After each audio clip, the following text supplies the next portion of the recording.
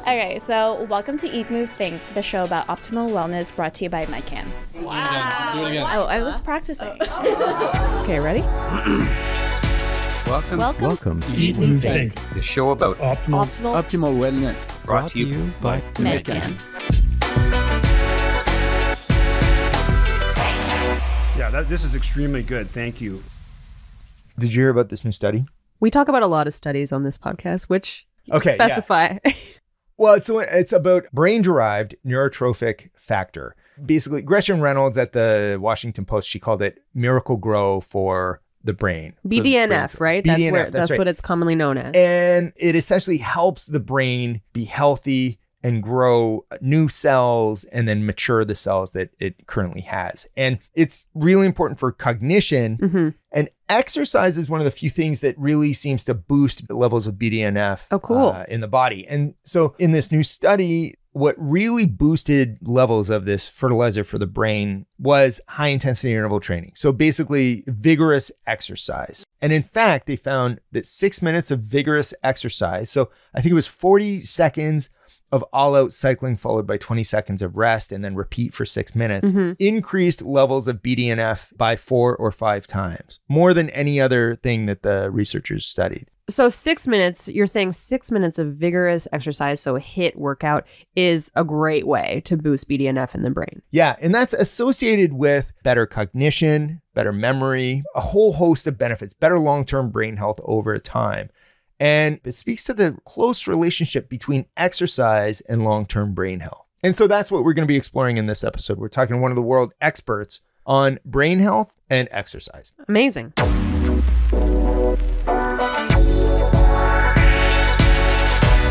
I'm Chris. I'm Jazz. We're the producers of Eat Move Think. Okay, that BDNF study was a small study. It was on 12 people. But also around the same time, one of the biggest studies ever on the relationship between exercise and cognition has come out.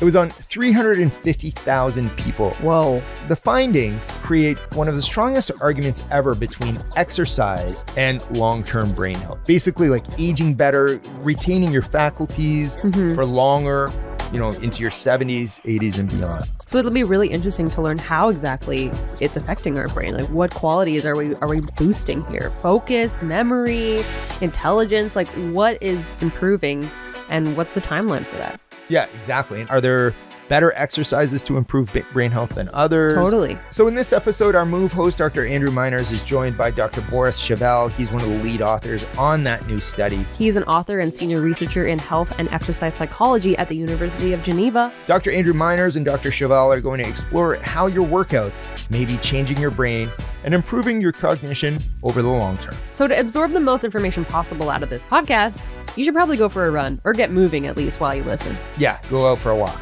Here's Dr. Andrew Miners.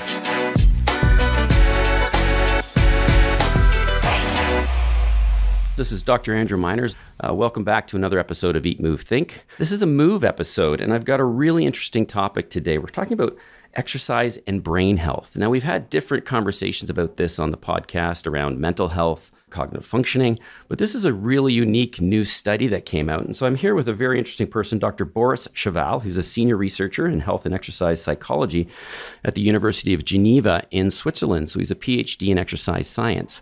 Welcome, Dr. Cheval, to Eat, Move, Think. Thank you. Welcome to having me. Really happy to be uh, to be here and to to discuss about uh, physical activity and uh, and health and cognitive function.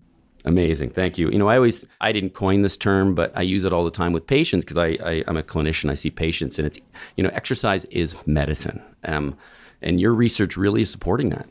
Yeah, yeah, yeah. I agree. Yeah.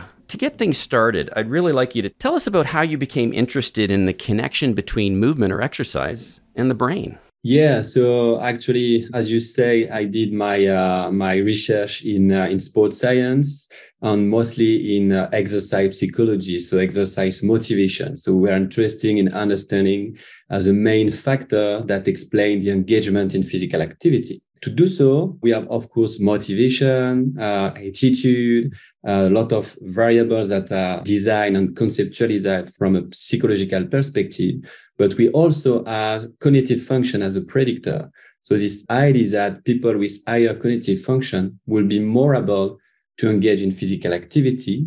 and especially because of something that eventually we can discuss the idea that we are designed toward effort minimization and to counteract this tendency we need cognitive function so i hmm. had a look in the literature that uh, examined the, the link between physical activity and cognitive function and actually most of the literature are in one direction to assess how physical activity improve cognitive function. So I was really interested mm-hmm. in understanding the link between physical activity and cognitive function. So it come from exercise psychology, exercise motivation to more a social epidemiology or epidemiology uh, approach. That's fascinating because as you said, there's lots of literature talking about physical activity and cognitive functioning, but the link of cognitive functioning back to physical activity. Because they talk about this positive feedback loop that, you know, is it higher cognitive functioning leads to people doing more exercise? Or is it people that do more exercise have higher cognitive functioning? Or if you do more exercise, you have better cognitive functioning that makes you do more exercise and it's this positive feedback loop?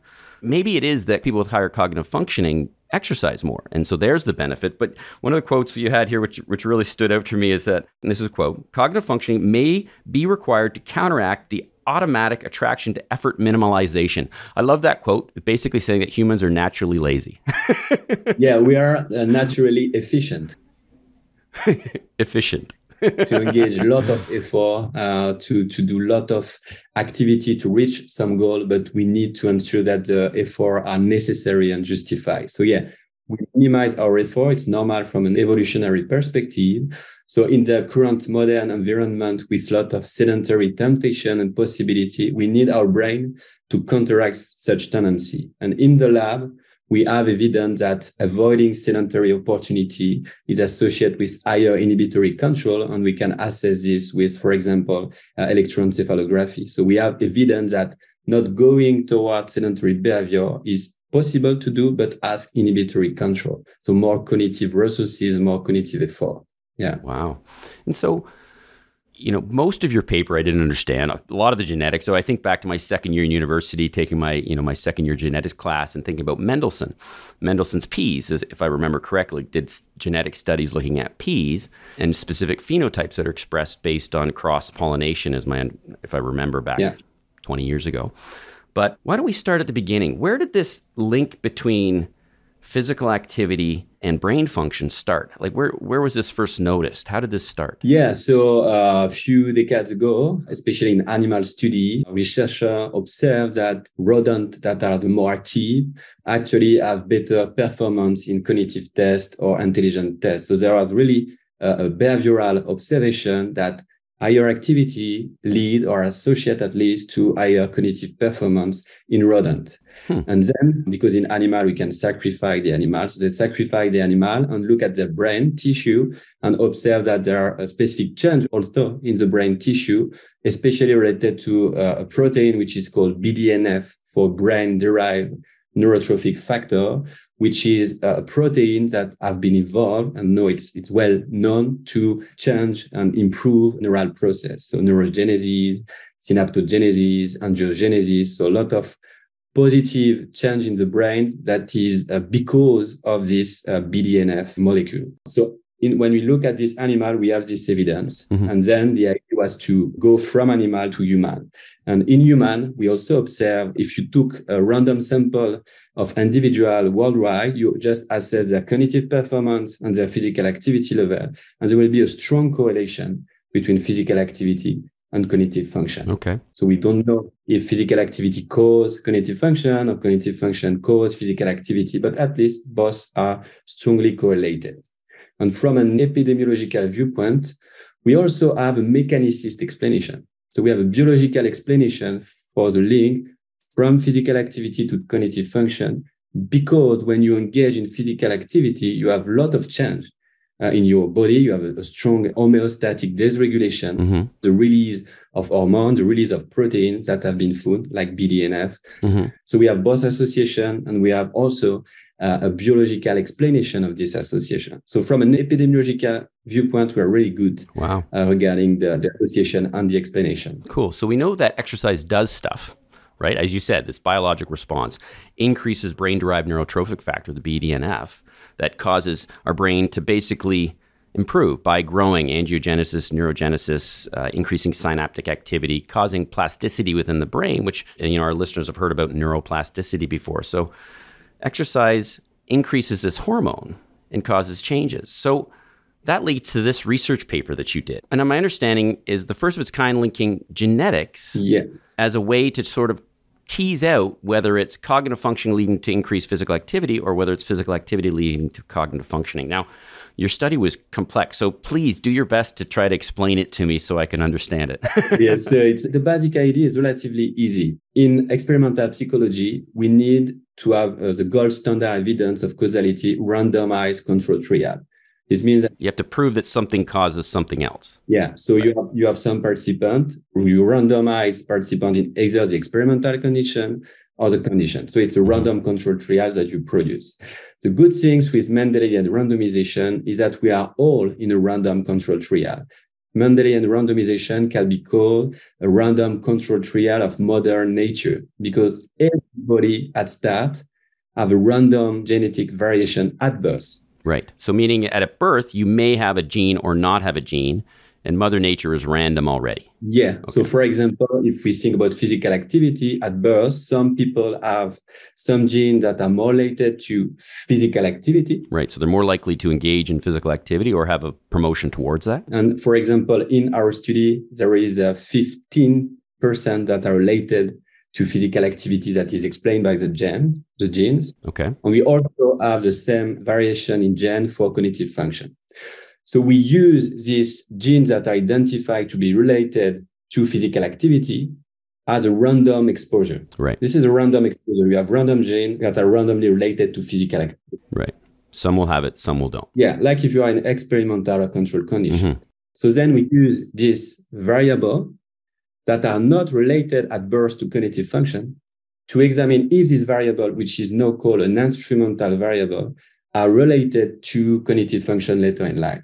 Okay. And if we have an association, and if there is also some statistical assumption to, to be met, but if everything is met and you have this assumption, you can consider that you have a potential causal link between physical activity and cognitive function. Okay. So it's the way to have preliminary evidence of causality in observational longitudinal data set. You do not need to rely on experimental random control trial. Gotcha. I think I understand. So let me try to relate that back. So some people have the gene for physical activity, yeah. some don't. Some will have the gene for increased cognitive functioning, some don't. Yeah. And some may not have either, right? And so that's where the randomization comes. So you take 100 people, some will have, some won't. Yeah. So when you introduce another variable, you can assume that if you see that variable have an impact, it's not related to that gene. So if you have the gene for physical activity and they increase their physical activity, you could say it's related to that gene. But if someone doesn't have the gene and they increase their physical activity, it's related to physical activity, especially if that physical activity causes another outcome like increased cognitive functioning. Is that right? Yeah, you have, you have the first step, which is called genome-wide association studies. So you identify genes related to your physical activity or your cognitive function. Mm-hmm. Use these identified genes as an instrumental variable in your model. So you try to see if these gene variation are related to cognitive function. Okay. And if you found this association, this means that physical activity variation, the random exposition to the gene related to physical activity, mm-hmm. can potentially cause cognitive function. And you can do the same in the reverse. You have the gene for cognitive function, and you can assess if this gene, its variation in gene, related to physical activity, which was not the case in our study, unfortunately, for that direction. So that's interesting. So you're using genes to get control to find out if, if it has an impact. So use this Mendelian randomization, which is probably named after the peas, right? It's the same guy named after the peas because you're looking at specific phenotypes or genetic expression leading to something. Yeah. So what did your study find? So we find that people who engage in moderate or vigorous physical activity had a better cognitive function relative to people that engage less in moderate and, and vigorous physical activity. How many people are you talking here? 350,000 people. Wow, that's a lot. So we have these two large-scale studies that we, we put together. And with this large-scale study, with the Mendelian randomization, we observe an unidirectional link from physical activity, either moderate or vigorous, toward cognitive function. However, we did not observe the reverse association. So in this data set, cognitive function do not cause higher uh, physical activity. We have not the reverse association. Interesting. because that was one of the arguments in the literature, right? It was that what does what, right? They're an association, but is it cognitive function that creates physical activity or physical activity that improves cognitive functioning? So you found in your study, especially using the genetic control, is that physical activity does lead to increased cognitive functioning, but cognitive function doesn't lead necessarily to increased physical activity. Is that right? Yes, in our study, yes. And this is the first study to say that, is my understanding. Yeah, so there are other observational studies, uh, including work, that show that there is a, a, temporal precedent between physical activity and cognitive function that observes a bidirectional association. Mm-hmm. But this is the first study Uh, a large study like that with the use of genetic to assess potential bidirectional and causal link between a physical activity and cognitive function. Yeah. Wow, fascinating. And you know, I was reading through your paper, and you referenced some other studies that had smaller sample sizes. So this is also like 350 subjects yeah. is is a huge sample size compared to say, you know, yeah. a couple of dozen maybe, or upwards of 100 in some studies compared to 350,000. Yeah, yeah. And that means that the more likely you can actually apply it to the general population because it has statistical power right? The ability to infer assumptions on the greater population because you've got high statistical power. Now, a couple of things I want to get into next. I always say to patients, you know, any exercise is good exercise. And in fact, we did a podcast not long ago. We were talking about how do you go from, you know, nothing to something in terms of just general physical activity and just how even a little bit of activity can increase your physical benefit. But your study, one, looked at average physical activity and then looked at moderate to vigorous physical activity. And what you found was the association that we just talked about was only found in moderate to vigorous physical activity, not in average daily activity. Is that is that right? Yeah, yeah, yeah. But in the average physical activity, we, we also have sedentary behavior. So it is an overall movement. So this is why there is a dilution of the effect. We did not assess light activity, for example. Right. But it's true that in our study, at least moderate is, is needed to have the effect. But we, we can also look at only light, but it was not the case here. And the overall average includes sedentary behavior within it. So it's normal that there is no overall effect. Right. So exercise is still good for you, even if you're just getting started, going from nothing to something, that doing some exercise is still better than nothing. But your study specifically looked at moderate to vigorous, yeah. and that does, in fact, create a positive benefit in terms of improving cognitive function. Yeah. But not to say that being active in general doesn't. Yeah. But it's also important to stress that every step counts mm-hmm. because as soon as you you start working, you you have a decrease in your risk of mortality. Yeah, all cause mortality. For yeah. cognitive function, eventually we need uh, enough intensity, and eventually we can come back to that later. But all activity are not equal if you are doing some uh, jogging or running in front of uh, a computer, for example, mm-hmm. or just the activity versus if you are doing dancing, that is, you are doing movement, you learn something. Mm-hmm. If the activity is of moderate intensity and if it's the activity is cognitively challenging, the effect could be relatively higher. Interesting. And We can also discuss where the activity take place because there are some evidence showing that physical activity outside, especially outside when you are uh, around green or blue space, mm-hmm. increase cognitive benefit. So there is this general idea that based on the cardiovascular fitness hypothesis that higher fitness you have, the better your cognitive function be, but you can eventually optimize the type of physical activities that you do to improve your cognitive function.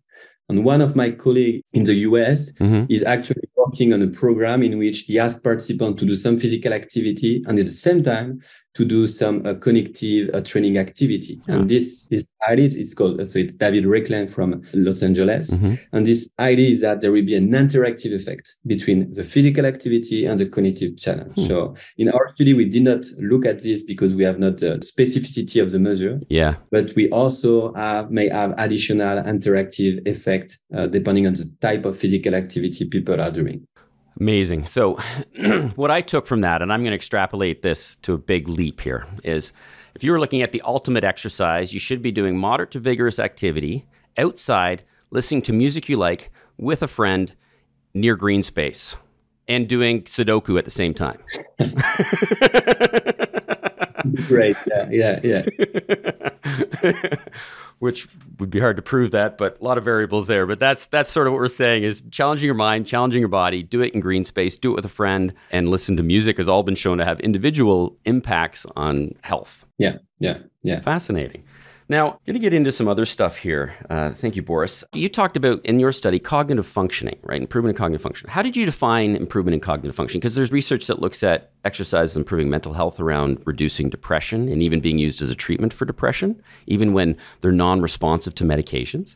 Uh, we see that exercise is helpful for anxiety. Yeah. Right. In terms of reducing uh, generalized anxiety disorder. How did you define cognitive functioning? Yeah. So it's uh, it's a difficult question to define, but here it's a general cognitive functioning. So it's a general ability to interact with the environment, but there are a lot of subparts for example, working memory, executive function, selective attention. So a lot of parts that are organized toward a general mm-hmm. cognitive functioning. So it's difficult to define this term, but I think you can consider that this is the ability to interact, okay. how you will be able to manage, handle, uh, and to be flexible in front of uh, an environment with specific uh, characteristics. So I think we can define like that. Yeah. Okay. That makes me think of an old coach I had. I played football. Uh, I had an old coach that said, be flexible and have a sense of humor.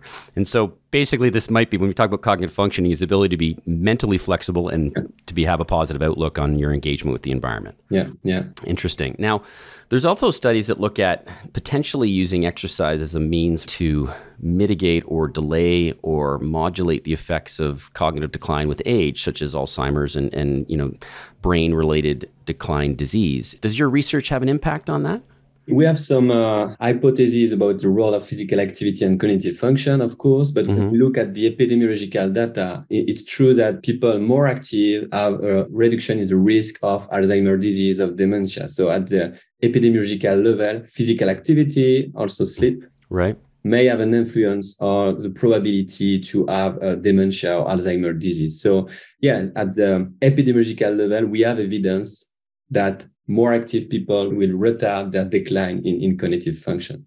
So yeah, we have this evidence. Again, is there a causality? It's, it's always difficult with observational data, mm-hmm. but physical activity is highly protective from the cognitive decline. And we also have the same thing if we look at children within school, hmm. improving physical activity during school is associated with an improvement, for example, on, on math mathematic performance. Hmm. So uh, there is evidence that moving can improve also cognitive performance, at least school achievement in mathematics in children. So we have an effect of physical activity that should be clear across all the life course. So you will benefit from physical activity mm-hmm. if you are a child, if you are a young adulthood, or if you are an older adult.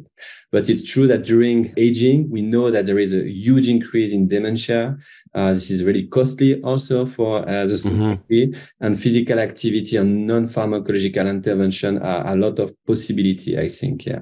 You know, based on your study and this brain-derived neurotrophic factor, do you think that that might be what's explaining what's happening? You know, even if you can increase this positive growth factor, in an op ed piece, I think from the Washington Post, they called it Miracle-Gro for the brain. At least if we look at the evolution of BDNF across age, there is a decrease in BDNF. As you get older, you have less BDNF. Yeah. Okay. So it, it's it's really parallel to the declining cognitive function. Mm-hmm. So we can expect that indeed uh, by doing physical activity, by changing the quantity, the concentration of BDNF that you have across your, your life, this may be an explanation of, of why uh, your brain maintain this activity, this structure, this connection. So yeah, it could be an explanation. Yeah, yeah. Interesting. And then, you know, one of the things you know when we talked about in that previous podcast with with Dr. Nelson Ferreira was he talked about when he did start walking to work in the morning, he felt better throughout the day, felt more alert, more engaged, more mentally aware. Is that also related to the BDNF, do you think? Yeah, so there are two type of exercise that we have to distinguish, the acute mm-hmm. effect of exercise. So when you engage in activity, what are the acute effect and the chronic effect? Right. So if we look at the acute effect, there is some evidence showing that if you do some physical activity, and then you have a learning or memory task, you will perform better. Okay. If it's moderate activity and not vigorous. Okay. The idea behind is based on BDNF and also the endocannabinoid system. Okay, gotcha. So yeah, actually data are consistent with this idea that moderate exercise may have acute positive effect on learning or memory task. Yeah. Interesting. And, you know, for our listeners, I think generally when we talk about practical application, we say, well, what is moderate to vigorous activity? We talk about moderate kind of being the ability to walk and being short of breath. You can carry on a conversation, but it's difficult. You have, you're, you're breathing hard. You can't have a nice, calm conversation like we're having right now. And then vigorous activity, meaning when your heart rate is significantly elevated, and you probably can't carry on an, on a conversation because you're breathing too heavily. Is, is that is that accurate? That's perfect. I mean, uh, we always use this uh, information about respiration. Yeah, I think it's the most accurate and explicit indicator, the, the respiration. Yeah. yeah. kind of call it a talk test. whether you can talk or not talk, or how difficult it is to talk. That's fascinating. So, you did correlate in your study physical activity to cognitive functioning. We didn't look at light physical activity per se. We looked at moderate to vigorous. In your study, what did you use to track physical activity? Yeah, it's a device that you put uh, on you that assess all your movement. Mm-hmm. There are some discussion about the accuracy to determine the intensity, but they are vali- validated procedure. Right. It's measuring movement as opposed to just having someone say they're moving. Yeah. Yeah. Gotcha. You know, one of the biggest interesting things about your study, apart from everything we've already talked about, is how genetics impacts your life. And you looked at whether you have this gene for physical activity or cognitive functioning, but that even if you don't have the gene, you can still benefit. Is that right? So it's not that if you don't have the gene, don't exercise because it won't help you. How much does genetics play a role in our benefits with exercise? So it really depends on the outcome on the exposure, but it's really important to understand there, there is a gene and there is then the or the genome and there is the exposome. So everything that is not related to genome can clearly change also the expression of your genome. So which is called epigenetics. So whether you turn it on or off. Yeah. So, so it's really right. important to understand that gene predisposed to, to nothing because environment will interact. Uh, okay. And there are right. people that have some uh, susceptibility. For example, some people will smoke and will develop a cancer, others not. Mm-hmm because there is a genetic susceptibility that may moderate the impact of environment on your health. Ah, we have some people that are more predisposed to have issue related to cognitive function. And in the effect of physical activity on cognitive function, they had identified a specific genes, which is called APOE, the allele 4 or the APOE genes, and people who have this allele 4, uh, the benefit of physical activity on the cognitive function is higher than for the other. Okay. Everybody benefits, but somebody can benefit. Benefit more. I think in research you call that responders, non responders, and middle responders. Is that right? Or is that that same idea? That's the same idea.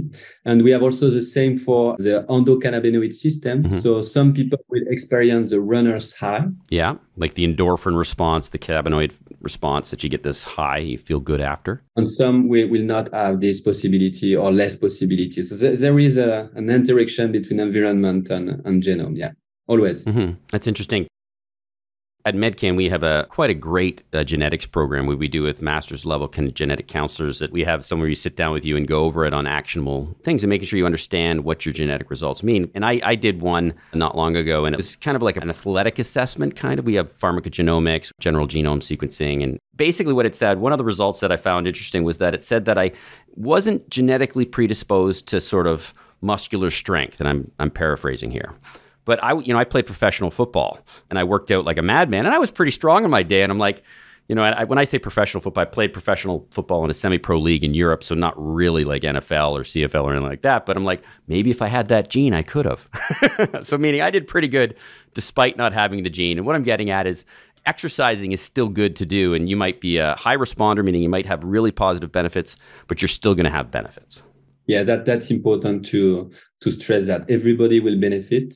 Yeah. And if you are totally physically inactive across your whole life it's never too late to engage because other studies show that you will have the benefits of physical activity even if you were not physically active across your life before. So yeah it's really important to engage. Although we can discuss but the health benefits is not enough to promote the motivation to engage across your life if yeah, you did not enjoy physical activity, this is absolutely not possible uh, to maintain physical activity. So, for example, mm. here we discuss the impact of physical activity on depression and longevity and cognitive function. Yeah, that's right. But for a, a perspective of motivation and promoting physical activity, there is no specific influence of such information we need to ensure that people will enjoy the physical activity to be sure that they will maintain and develop habits toward physical activity across their life. Interesting. Based on your psychology background, I'd like to learn more about that. So, people are, are kind of like electricity. We find the path of least resistance, right? So, if you have people that haven't enjoyed physical activity, based on your background, research, and experience, what are some things that we know to help to change those people that are unmotivated to being motivated? Yeah.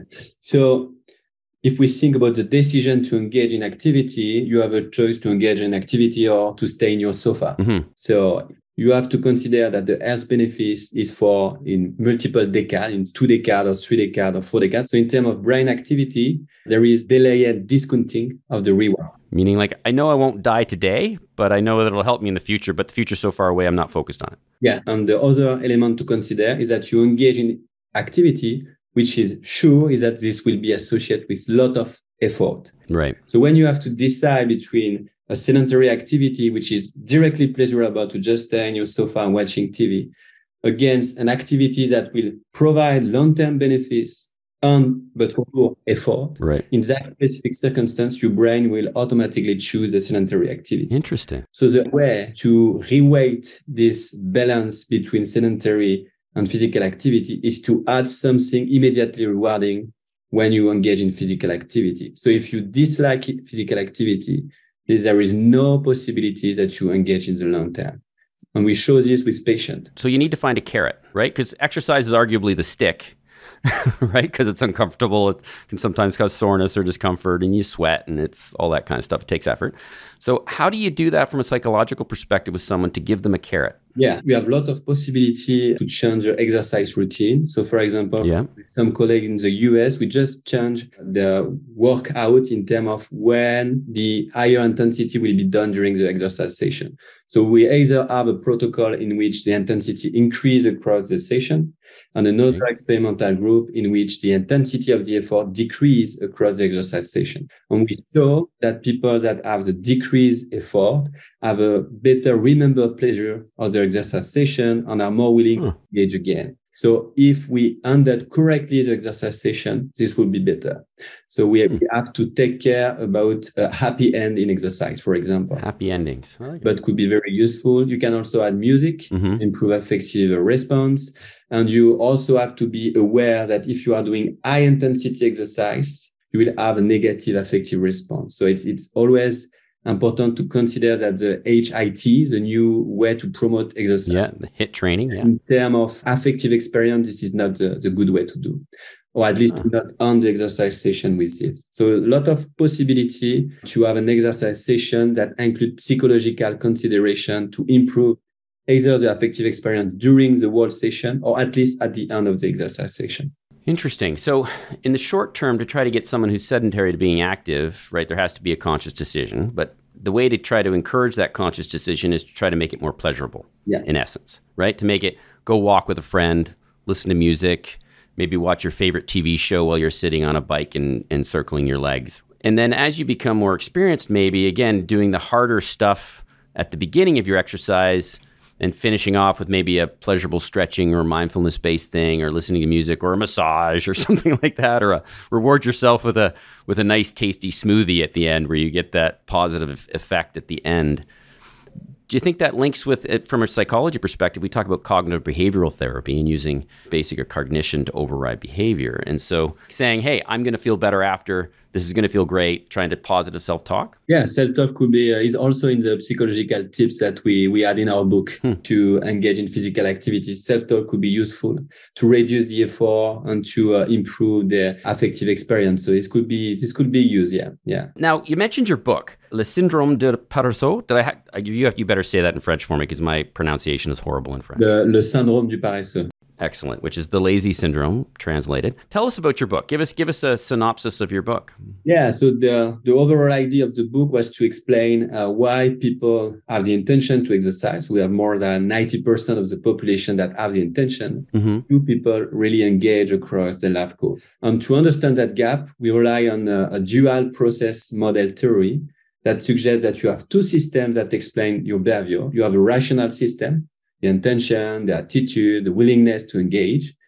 And you may have the intention to exercise, but in the same time, if you feel bad when you are engaging in physical activity, your automatic system will push you away from the exercise. Hmm. Both the reflective system and also the automatic system are both going in the same direction. So our idea hmm. was to so ensure intention, this is the case, people have the intention, but then to ensure that the automatic system, automatic pathway will be positive for, for exercise. Hmm. And of course, the idea of effort minimization. So really this idea that we are designed like, like other animals to avoid unnecessary physical exertion. So if we have other possibility to reach the goal by minimizing the effort, we will do it. This is normal. This is a way to reach your goal with a minimization of effort. And this is really effective in terms of evolution. So currently it's, it's really uh, bad for our health, but for our ancestor, it would be a, a good choice to do so. Yeah. That reminds me, I had a conversation with my daughter just last night. So my daughter's just about to turn 14.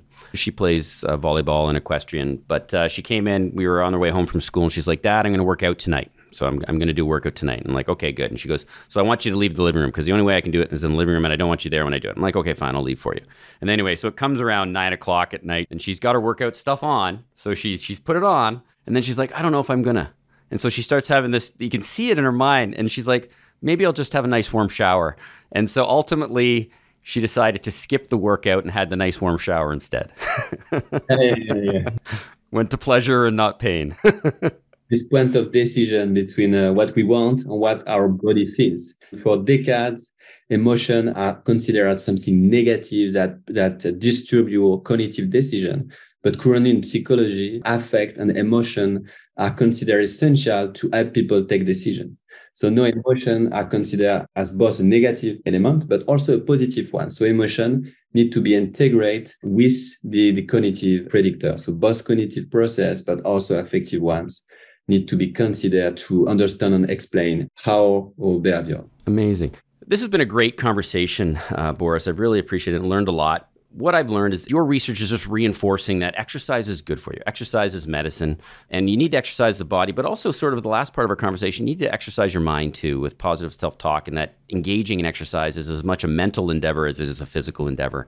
And that we're ongoing on research moving forward, learning more and more about the brain and how exercise plays a role in that. Thank you so much, Dr. Cheval, for joining us all the way from Switzerland. I really appreciated chatting with you, and thank you for your paper. It really adds something to the body of research. So thank you very much much. Thank you. It was a pleasure. That was Dr. Andrew Miners, MedCan's Clinical and Product Director of Sports Medicine, Therapy, Rehabilitation, and Fitness, in conversation with Dr. Boris Cheval, Senior Researcher in Health and Exercise Psychology at the University of Geneva, as well as a lead author of the study they talked about in this episode. To book a consultation with a MedCan personal trainer, email fitness at medcan.com. Follow MedCan on Twitter and Instagram at MedCanLiveWell, and follow Dr. Boris Cheval on Twitter at Cheval Boris, that's C H E V A L B O R I S. We'll post episode highlights and other links you can visit on our website, eatmovethinkpodcast.com. Say hello and send us a tip or a suggestion by emailing us at info at eatmovethinkpodcast.com. Eat Move Think is produced by Ghost Bureau. Jasmine Ratch is managing producer. Social media and strategy support is from Chantel Gertin, Andrew Imex, and Emily Bozick. As well as Amanda Serafina James and Naman Duta. And I'm executive producer Christopher Shulgin. We'll be back soon with another episode examining the latest in health and wellness.